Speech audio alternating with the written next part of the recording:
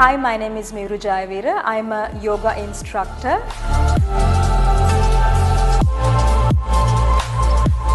Flexibility can be built through time and practice. I'm going to do Urdhava Dhanurasana. So, I told you my favorite food is rice and curry.